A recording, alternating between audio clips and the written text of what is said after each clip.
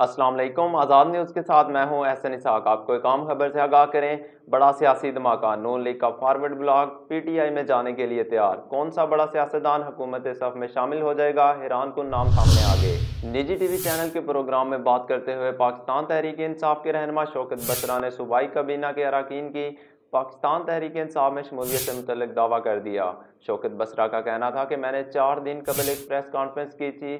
مسلم league نون پنجاب میں حکومت بنانے کے لیے خواب دیکھ رہی ہے۔ نواز شریف کا اپریل کے آخر میں ضمانت کا وقت ختم ہو جائے گا، جس کے بعد وہ دوبارہ جیل میں ہوں گے۔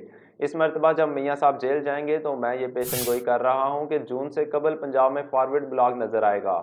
نون لیگ کے بیس سے پچیس لوگ مل کر فارورڈ بلاگ بنائیں گے۔ پی پی دو سو چوالیس سے انتہا میں کامیابی حاصل کرنے والے ارشد بھی اس فارورڈ بلاگ کا حصہ ہوں گے۔ انہوں نے اراکین اسمبلی کی پی ٹی آئی میں شمولیت کا بھی دعویٰ کیا۔ پاکستان تحریک انصاف کے رہنما شوکت بسرا نے کہا ہے کہ وزیر اعلیٰ پنجاب سردار عثمان بزدار کی تبدیلی کا فی الوقت کوئی امکان نہیں۔ البتہ وزراء کے کچھ محکمے تبدیل کیے جائیں گے۔ گے میں نام نہیں لینا چاہتا۔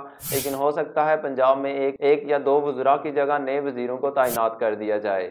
ممکن ہے کہ نئے لوگوں کو تبدیلی دے دی جائے۔ شوکت بسرا نے صوبائی کابینہ میں رد و بدل سے متعلق خبر دیتے ہوئے کہا کہ اگر وزراء کی تبدیلی کے حوالے سے بات کی جائے تو میرے خیال سے بجٹ سے پہلے وزراء کی تبدیلی کا امکان ہے۔ شوکت بسرا نے اس سے قبل نون لیگ کے اندر بننے والے فارورڈ بلاک سے متعلق بات کرتے ہوئے کہا تھا کہ اس فارورڈ بلاک میں شامل اراکین اسمبلی کا کہنا ہے کہ ہمارے لیڈران میاں نواز شریف اور میاں شباز شریف نے جو لوٹ مار کی ہے، ہم کسی صورت بھی اس کا دفاع نہیں کریں گے۔